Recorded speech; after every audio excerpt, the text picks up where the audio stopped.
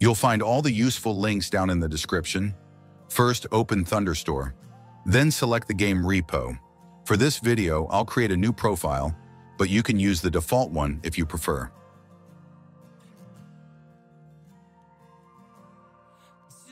Go to Settings Locations and change the executable file path for REPO.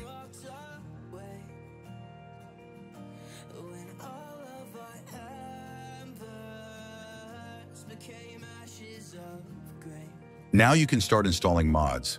Make sure to install BepInEx first. It's absolutely required for any other mod to work properly.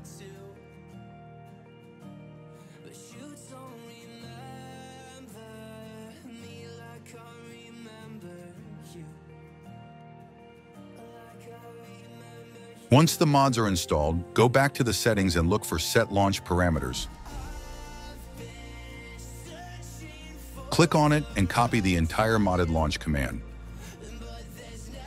Head over to your REPO game folder, right-click the game executable, and create a shortcut.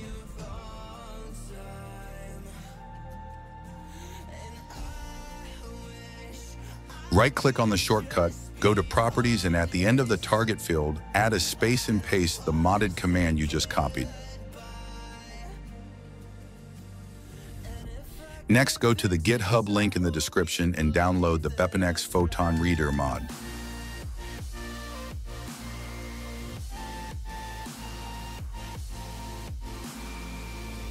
Once downloaded, go back to Thunderstore, go to the settings, click Browse Profile folder,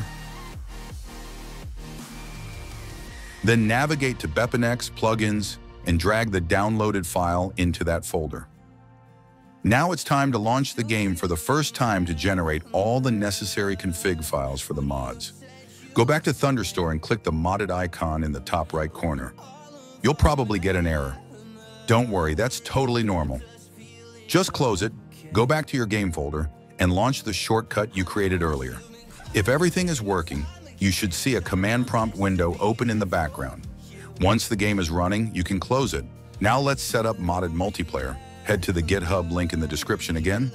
You can follow the steps there, or just follow along with me in the video. Create an account on Photon Engine. You can use a real email or a temporary one.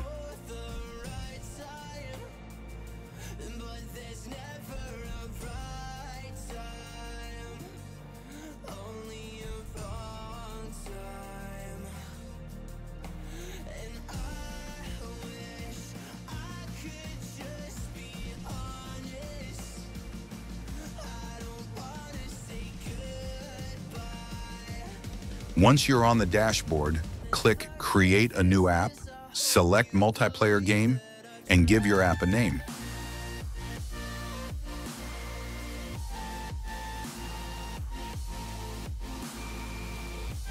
After that, copy the app ID, go back to your BepInEx mods folder, go up one level and this time open the config folder. Open the file called photonredirect.cfg and paste your app ID where it says 2.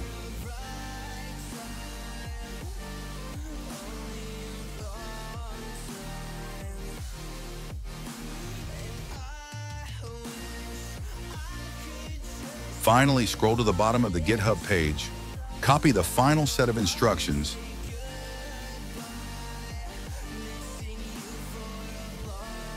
and paste them into the duelist.txt file in your game folder.